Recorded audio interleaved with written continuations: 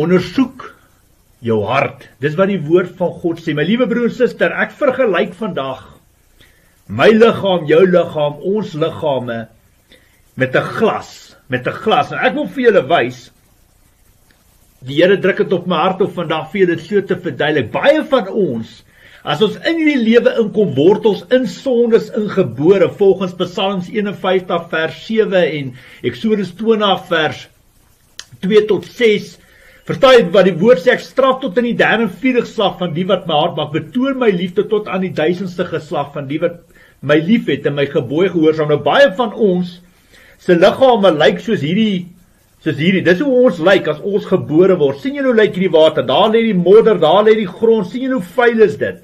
Nou wat outomaties gebeur die dag as jy tot bekend dis hoe jou lewe lyk. Jy word in in sondes ingebore met allerlei bloedlyn vloeke en dan outomaties soos jy nou ouer word en en begin jou eie foute maak en in sondes lewe en nie God se woord gehoorsaam nie dan sapel hierdie hierdie hierdie modder hierdie modderwater word nou al meer en meer nê. Nee, tot jy die dag nou baie van ons het tot bekering gekom. Nou as jy tot bekering kom dan ontvang jy die Heilige Gees. Nou die Heilige Gees is skoon lewende water wat natuurlik in hierdie glas in jou liggaam, jou liggaam is nou hierdie glas ingegooi en daar ontvang jy die Heilige Gees. Nou baie van ons het die Heilige Gees ontvang, maar ons het nooit bevryding voor eh, of tydens die wat jy die Heilige Gees ontvang, dan moet daar sondebeleid doen en bevryding gedoen word sodat jy in suiwerheid en heiligheid kan kom. Soos hierdie glas, nou soos jy die Heilige Gees ontvang, Nou nou ontvang jy Heilige Gees. Nou moet jy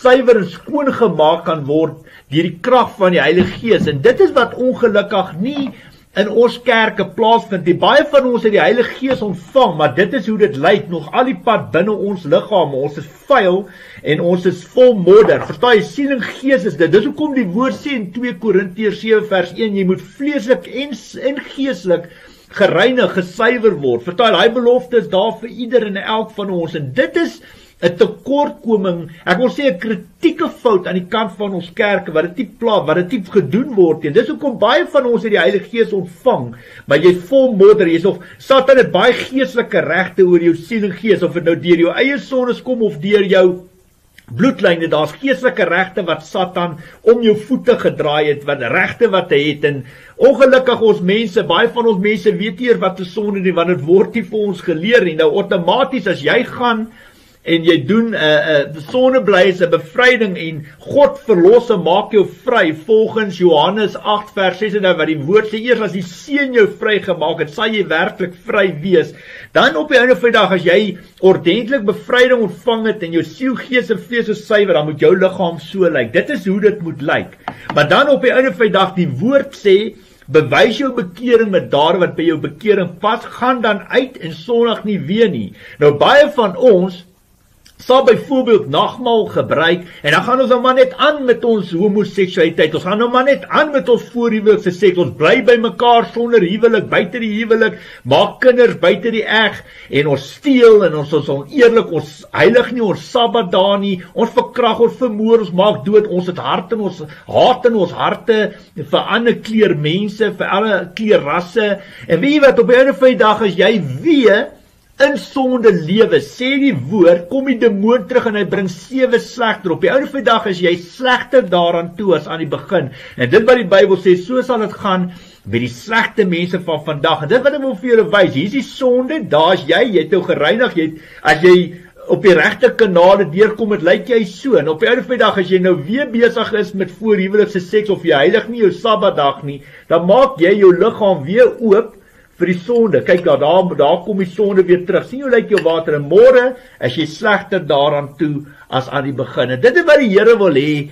Ek moet vandag aan julle verduidelik dat julle dit verstaan dat hier, dit is hoe die heilige lewende water lyk, suiwer lewende water van die Heilige Gees. En dis hoe jou liggaam moet lyk, siel, gees, vlees, verstand en hart, elke afdeling van jou lewe.